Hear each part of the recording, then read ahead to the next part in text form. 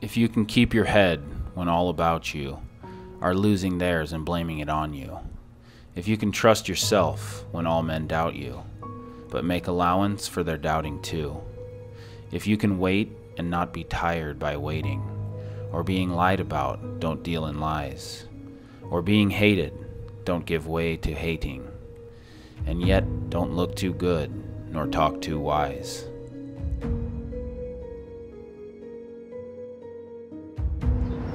A tough kid. I ask you about war, you probably uh, throw Shakespeare at me, right? Once more into the breach, dear friends. But you've never been near one. You've never held your best friend's head in your lap. and Watch him gasp his last breath, looking to you for help. If you can dream and not make dreams your master, if you can think and not make thoughts your aim, if you can meet with triumph and disaster and treat those two impostors just the same, if you can bear to hear the truth you've spoken, twisted by knaves to make a trap for fools, or watch the things you've gave your life to broken, and stoop and build them up again with worn out tools. Don't ever let somebody tell you you can't do something. You want something, go get it. Period.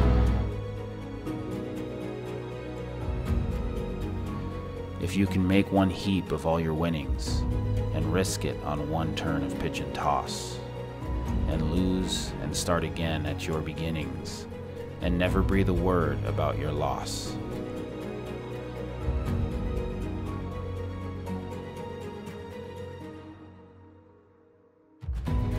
If you can force your heart and nerve and sinew to serve your turn long after they're gone, and so hold on when there is nothing in you except the will which says to them, Hold on.